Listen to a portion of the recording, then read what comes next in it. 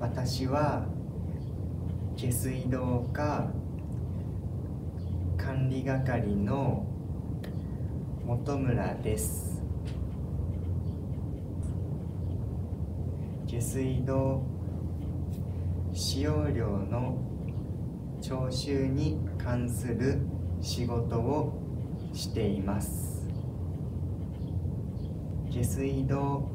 使用料について相談や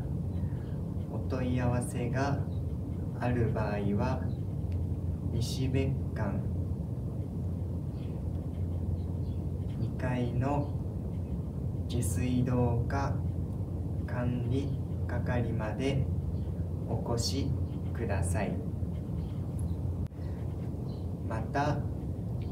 今年の9月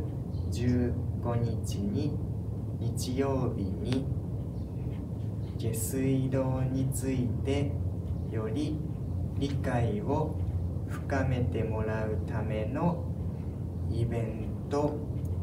下水道展を行います。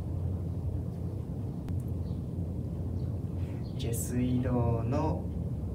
役割や仕組み使い方などを楽しく